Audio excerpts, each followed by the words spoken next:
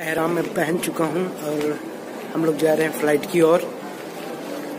लब्बैक अल्लाहुम्मा लब्बैक लब्बैक ला शरीक लक लब्बैक लब्बैक। अल्लाहुम्मा लब्बैक लब्बैक ला शरीक लक लब्बैक इन्नल हम्द व नेमत लका वल मुल्क ला शरीक लका। तो ये है दादा इनकी एज है पंचानवे। और ये भी जा रहे हैं जियारत को उम्र। कैसे है दादा। बहुत अच्छा महसूस करोगे। चलो चलो चलते हैं। लब्बैक अल्लाहुम्मा लब्बैक लब्बैक ला शरीक लक लब्बैक। इन्नल हम्द व नेमत लका वल मुल्क ला शरीक लका।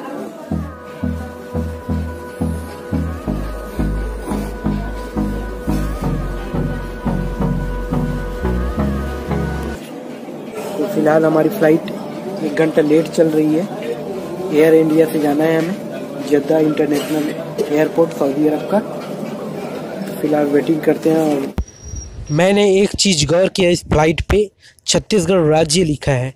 तो यह इसलिए लिखा होगा, जब हज के टाइम आता है तो यह छत्तीसगढ़ में जितने भी हाजी हैं, उनके लिए अलाउड होता होगा। इस वजह से छत्तीसगढ़ राज्य लिखा होगा और कोई पर्पस नज़र नहीं आता बट वैसे भी यह फ़्लाइट अभी तैयार हो रही है। जब तक इंजीनियर लोग ओके नहीं कर देते तब तक हम इसमें नहीं बैठ सकते।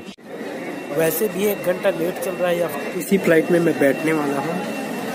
ये रहा हमारा फ़्लाइट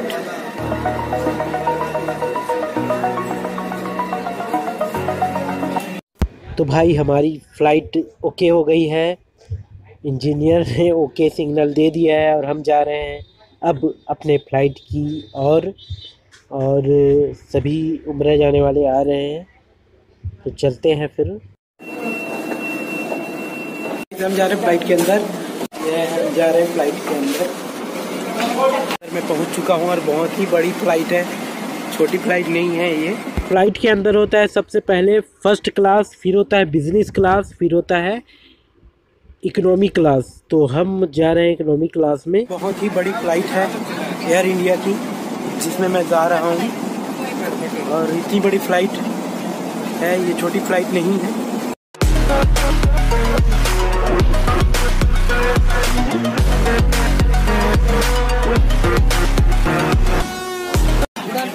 मैं फ़्लाइट में बैठ चुका हूँ और मेरे साथ भाई है। ये भाई केरल से है। क्या नाम है भाई? अब्दुल रहीम भाई है, ये जद्दा में ही जॉब करते हैं। और ये बहुत ही बड़ी फ़्लाइट है 500 पैसेंजर एक साथ बैठ सकते हैं। तो अभी फ़्लाइट टेक ओवर नहीं किया है, करने वाली है। और बाहर का भी कुछ इस तरह से है। तो मैं आपको पूरा भी दिखाते जाऊँगा।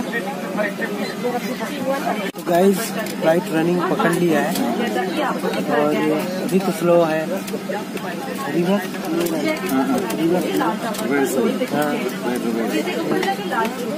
हवा भी चलाया जा सकता है। Drop automatically full the master word cover your nozzle तो जनाब अब हम उड़ान भर रहे हैं। और ये जो दिख रहा है, ये मुंबई सिटी है, जिसके ऊपर से हम लोग उड़ रहे हैं इस वक्त। बहुत अच्छा लग रहा है। यहाँ मेरा पहला उड़ान होगा। यह मेरा लाइफ में पहला इंटरनेशनल उड़ान है। और इसके पहले मैंने डोमेस्टिक फ़्लाइट बुक किया था, जो मिस हो गया मुझसे। और दूसरा बार मैंने बुक किया था। फिर इंटरनेशनल फ़्लाइट जो थी बैंकॉक थाईलैंड की बट मैं वहाँ नहीं गया सऊदी अरब आ गया, उम्र के लिए।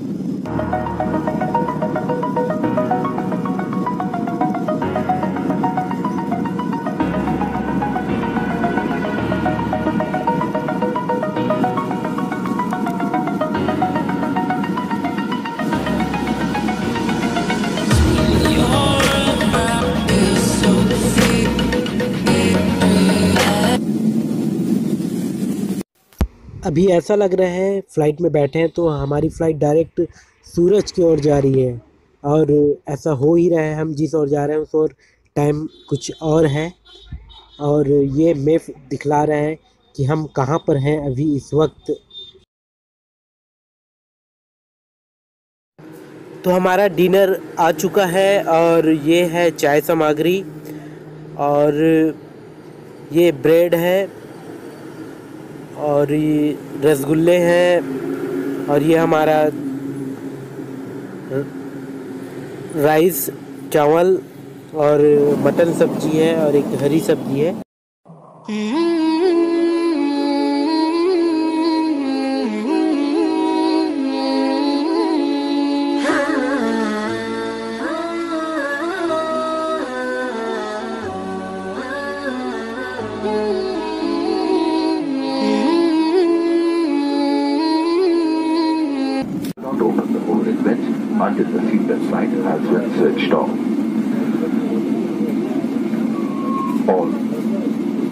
Passengers who have pre-booked their wheelchairs are requested to kindly remain seated. They will हाँ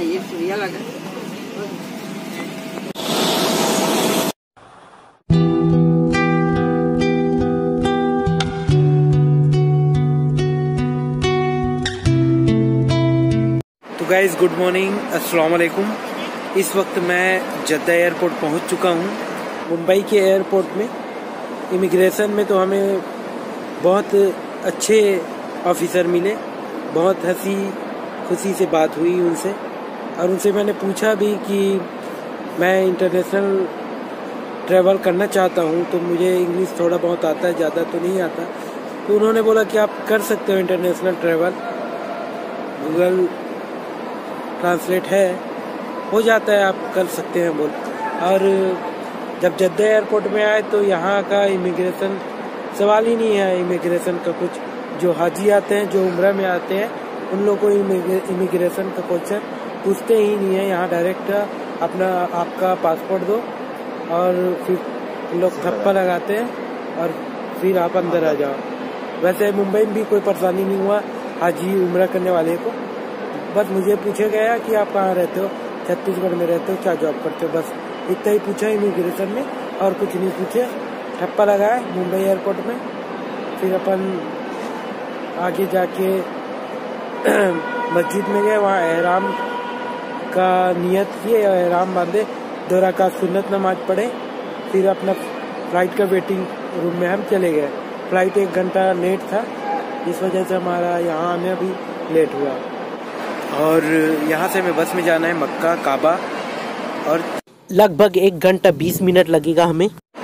तो हमारे सभी ग्रुप के लोग आ चुके हैं। ये है हमारे ग्रुप गाइस फिर यहाँ से हमारी रवानगी होगी। बहुत ही अच्छा लग रहा है। उम्र का सफ़र, मक्का का सफ़र, जियारत खुदा। मैं दुआ करूँगा आप सभी के, सभी को, सभी के लिए कि आप लोगों को भी जियारत हो खुदा के घर का। और हमारे देश में, भारत में अमन शांति बने रहे और हमारा भारत देश तरक्कियों की सीढ़ियों में चढ़ता जाए। तो गाइज़ अभी हम जाएँगे मक्का, काबा। फिर वहाँ वैसे इबादत तो हमारी चालू ही हो गई है। वहाँ टाइट होगा। तो गाइज़ अभी जस्ट दस पंद्रह मिनट में हम निकलेंगे यहाँ से। बहुत ही अच्छा लग रहा है। खुदा के घर में है। खुदा के घर में और क्या चाहिए भाई? सबको अस्सलाम वालेकुम। तो दोस्तों, मैं हूँ मोहम्मद नजीब और आपको यह वीडियो अच्छा लगा हो तो प्लीज़ आपसे इंतज़ा है रिक्वेस्ट है, दरख्वास्त है कि लाइक ज़रूर करें और कुछ बातें कमेंट में बोलना चाहते हो तो कमेंट में बोलिए। और आप नए हैं तो मेरे चैनल को सब्सक्राइब कर सकते हैं। तो दोस्तों मैं अभी। सऊदी अरब जद्दा इंटरनेशनल एयरपोर्ट पर और यह एयरपोर्ट बहुत बड़ा है और ये अलग अलग टर्मिनल बने हुए हैं। आप टूरिस्ट पर्पज़ से आते हैं तो उसका टर्मिनल अलग है। ये हज उम्र वाले का टर्मिनल है। और इधर सब बस के लिए वेट कर रहे हैं। जितने भी अलग अलग कंट्री के आते हैं, हाजी, उन लोगों का बस यहीं पर स्टॉप होता है। और यहाँ से वो ये है हमारी बस पीछे। अब यहाँ से एक घंटे बीस मिनट का रास्ता है। चलते हैं।